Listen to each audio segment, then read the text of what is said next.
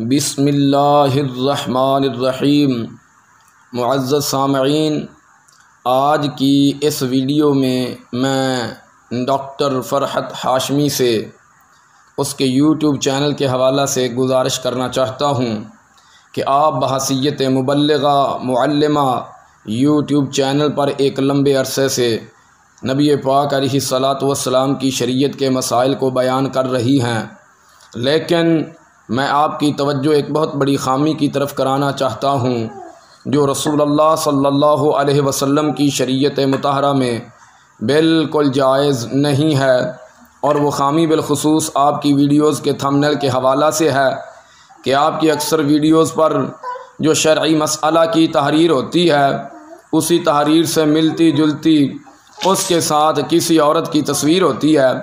مثال کے طور پہ آپ کا ایک چینل ہے، سنہری باتیں۔ اس نام سے چینل بنا ہوا ہے۔ ساری ویڈیوز تقریباً آپ کی اس کے اندر ہیں۔ ایک لاکھ ستاسی ہزار اس کے سبسکرائبر ہیں۔ ایک سو چالیس کے قریب اس میں ویڈیوز موجود ہیں۔ اور ان کی جو صورت حال ہے وہ کچھ اس طرح سے ہے۔ ایک ویڈیو پر تحریر یہ ہے، کیا عورت برہنہ حالت میں وضو کر سکتی ہے؟ تو ساتھ میں پھر عورت کی تصویر لگی ہوئی ہے۔ ایک ویڈیو پر تحریر یہ ہے، پڑوسن سے زنا کرنے والے کا انجام کیا ہوگا؟ ساتھ تصویر عورت کی لگی ہوئی ہے۔ شادی پر بہن سے ڈانس کروانا کیسا ہے؟ ساتھ تصویریں عورتوں کی لگی ہوئی ہیں۔ عورت سارے کپڑے اتار کر نہا سکتی ہے۔ ساتھ تصویر عورت کی لگی ہوئی ہے۔ کیا ڈاکٹر عورت کے جسم کو ہاتھ لگا سکتا ہے؟ ساتھ تصویر عورت کی لگی ہوئی ہے۔ لڑکی پاک دامن ہے یا آوارہ؟ کیسے پتہ کریں؟ ساتھ تصویر عورت کی لگی ہوئی ہے۔ جوش میں لڑکیوں کا اپنی شرمگاہ کو گیلا کرنا۔ ساتھ تصویر عورت کی لگی ہوئی ہے۔ حیض میں شوہر بیوی کے پچھلے حصے سے ہم بستری کر سکتا ہے یا نہیں؟ ساتھ تصویر عورت کی لگی ہوئی ہے۔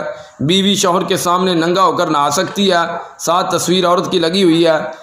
کیا نہاتے وقت شرمگاہ کو دیکھنا ٹھیک ہے؟ ساتھ تصویر عورت کی لگی ہوئی ہے۔ نفس کو طاقتور بنانے والے پھل کون سے ہیں؟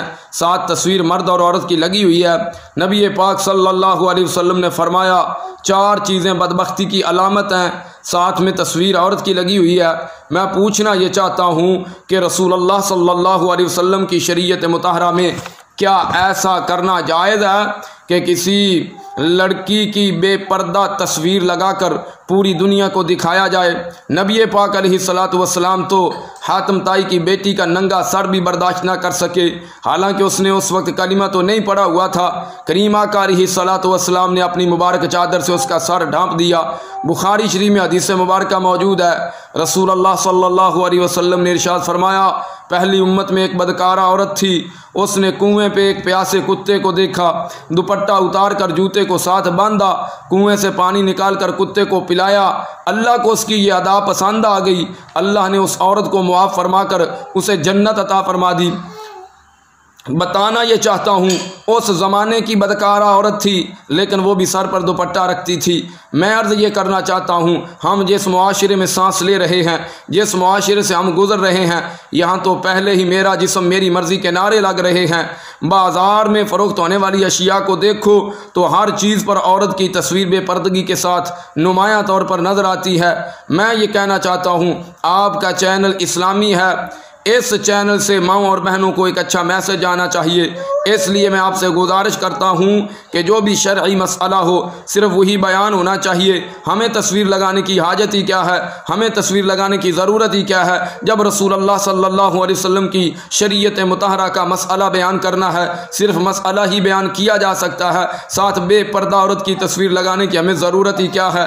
اس لیے گزارش یہ کرنا چاہتا ہوں کہ آپ جو شرعی مسئلہ بیان کرنا چاہتی ہو، وہ شرعی مسئلہ بیان کرو، لیکن ساتھ تصویر کی حاجت نہیں یا تصویر نہ لگائی جائے۔ آج میں آپ کو صرف یہی پیغام دینا چاہتا تھا۔ اللہ تعالی ہم سب کو دنیا اور آخرت کی بلائیاں عطا فرمائے۔